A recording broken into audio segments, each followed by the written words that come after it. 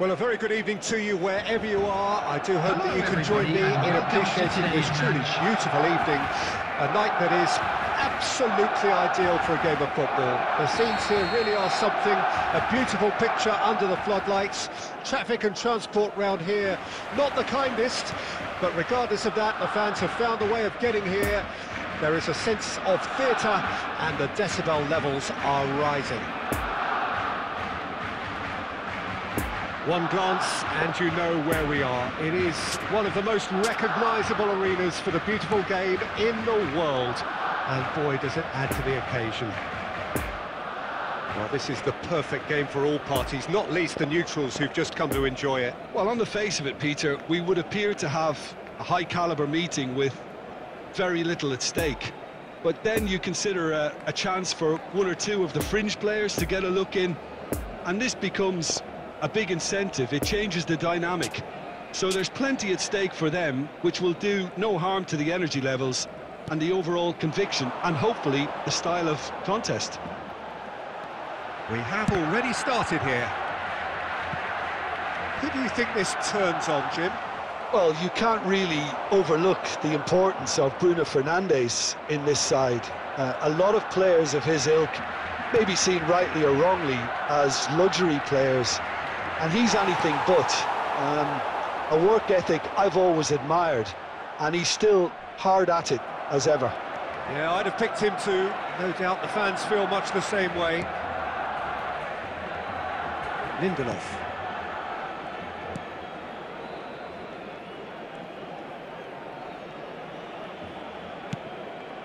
Still goalless. Floated out to the flank.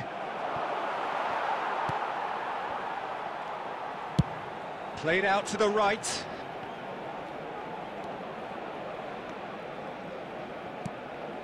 It's gone out for a throw-in.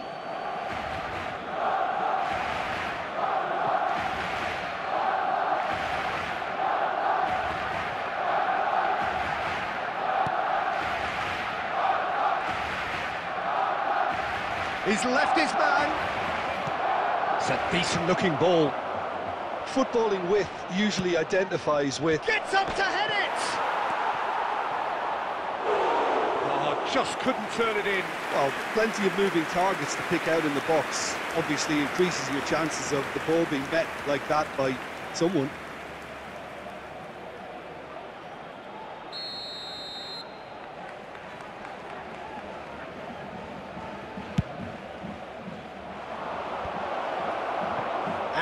They can spring out of defence.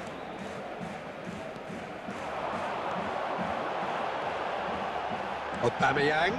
Well, that is a good challenge from him. And the counter is on. Now it's Bruno Fernandes. Well, he certainly caught him there. It's a free kick.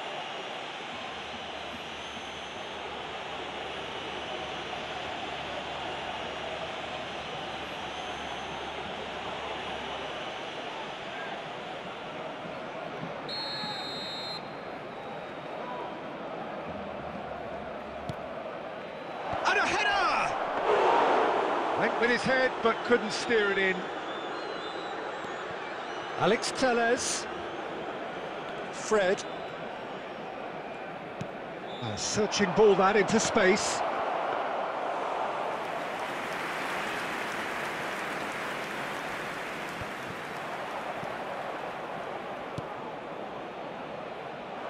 Doesn't get the pass he's looking for.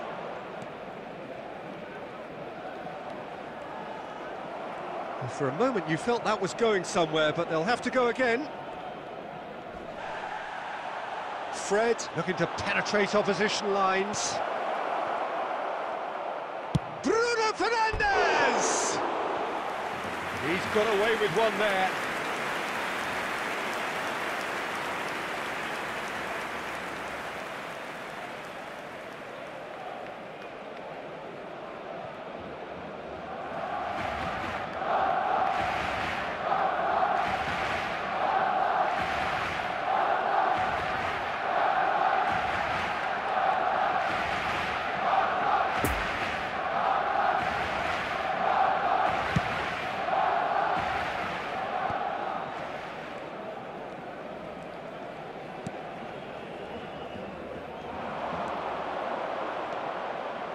He's he tries a shot!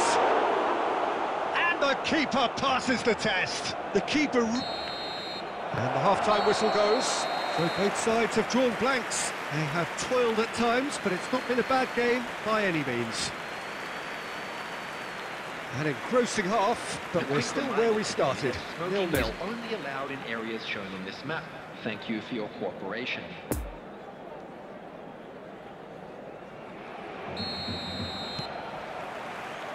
And we're underway again. Nil-nil then, and we're back underway.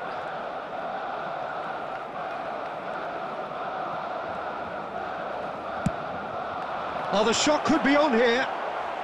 There's the shot! What a wonderful goal! Oh, he's quite the pro.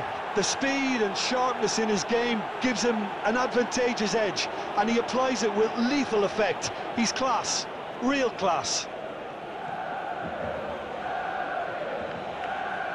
Well, that always looked the likely outcome. Yeah, I really can't say enough as to how good the final ball was. It took the defence out of the equation for that split moment, and the damage was all done.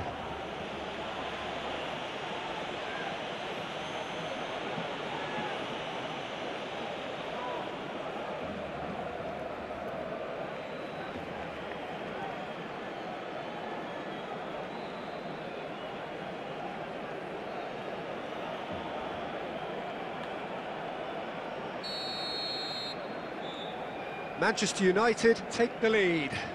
Oh, half-time has been a blessing for this team. You know, what a great start to the second half. Out to the left it goes. Barcelona looking to get their possession game going here. Yeah, it can be very stylish and expansive to watch if they get it to the standard we know they can. But what's key is the number of ballers in the team. As long as they don't lose the purpose. If they keep... Massive leap! Oh, the ball's run loose here. And in again. It's loose and there's a race for the ball. The attendance for this match was 71,550.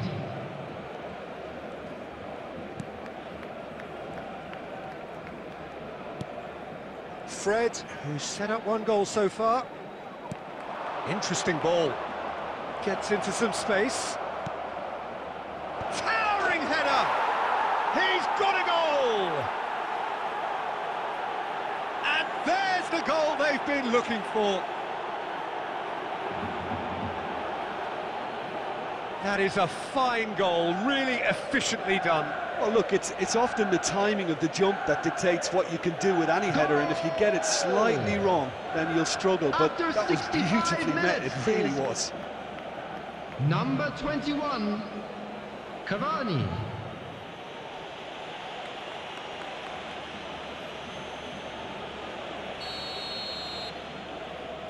Manchester United get themselves a two-goal cushion. Well, with this kind of authority, Peter, why not push on and, and totally kill this off? And here's the chance to counter. And it's lofted through here.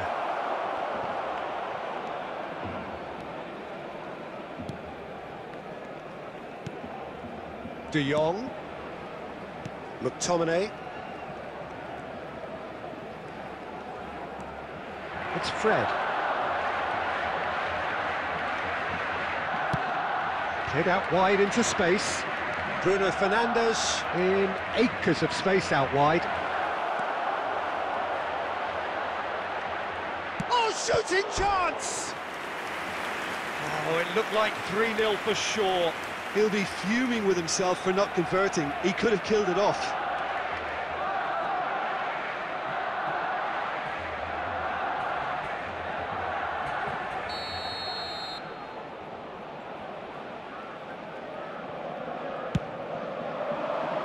And the keeper beats it away.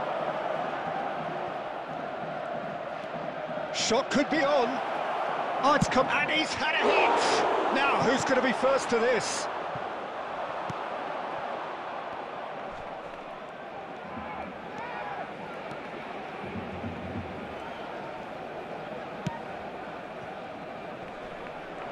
And no, that is pretty much the end of that. Good spot, he's seen the run. There really wasn't very much in that, not far away from being a telling final ball. Ah, quality deserted them when they really needed it. And O'Brien! Oh, that was no routine save. Oh, that's a sparkling save. Absolutely sparkling. His reflexes were ultra sharp.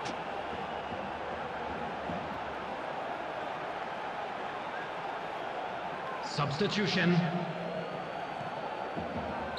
Time for a change in personnel. I think you have to admire his willingness to keep plugging away, but the manager has, has done him a big favour, I think, by, by taking him off. You know, he was looking very, very leggy. There will be three minutes added time.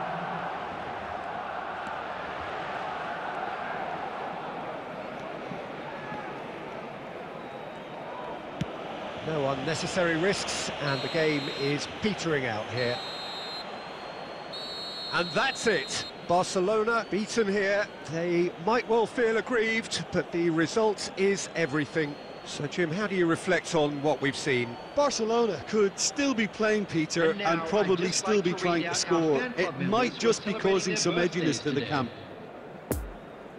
That's it for tonight's match. So it just remains for me to thank Jim Beglin alongside me and to wish you all a very good evening.